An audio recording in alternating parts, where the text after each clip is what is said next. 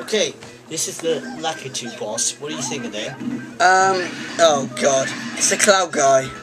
Yeah, Oh god. he's like the first mini boss in the game. Is it, are you kidding me? Look how rubbish. Look, it's basically, uh, um, you know, in the Mario Kart, um, no, not Mario Kart, um, in the old Mario Bros games, he, he's there, he just throws eggshells at you.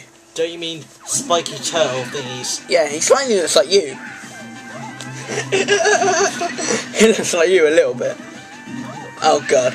Look, look, everyone's running around and not getting hit by turtle shells. Wow. It's not totally like Mario Brothers, t- Mario Brothers at all. Final attack. Dun, dun, dun. Oh look, you killed him. Wow, in how many seconds? right. Is that is that it then? No, there's Right. one boss. That's